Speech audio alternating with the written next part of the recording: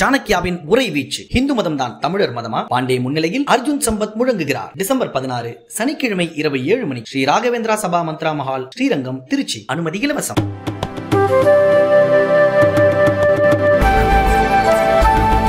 ஆதிச்சநல்லூரில் side மியூசியத்தை காண மாணவ மாணவிகள் குவிந்து வருகின்றனர். ஆதிச்சநல்லூரில் உலகத்தரம் வாய்ந்த அருங்காட்சியகம் அமைக்கப்படும் என்று இரண்டாயிரத்தி இருபதாம் ஆண்டு மத்திய பட்ஜெட்டில் நிதியமைச்சர் நிர்மலா சீதாராமன் அறிவித்திருந்தார்.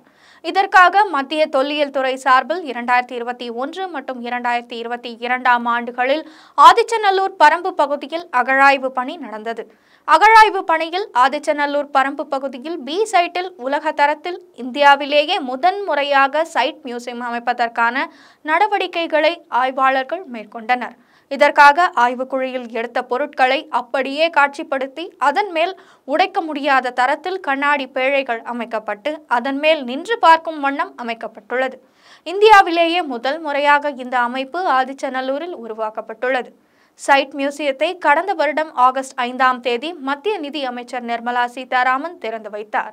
தினம்தோறும் தூத்துக்குடி திருநெல்வேலி மாவட்டங்களைச் சேர்ந்த பள்ளி மற்றும் கல்லூரி மாணவ மாணவிகள் ஏராளமானோர் வந்த வண்ணம் உள்ளனர்.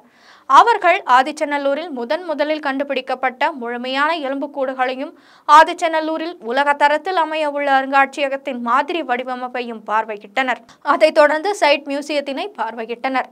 மாணவர்களுக்கு ஆதிச்சநல்லூர் குறித்து நூல்கள் எழுதியுள்ள எழுத்தாளர் முத்தாலங்குறிச்சி காமராசு விளக்கமளித்தார். அதை ஆர்வமுடன் கேட்ட மாணவ மாணவிகள் கேள்விகளையும் கேட்டனர். அதற்கு பதிலளித்து அவர்களது சந்தேகத்தினை அவர் தீர்த்து வைத்துள்ளார்.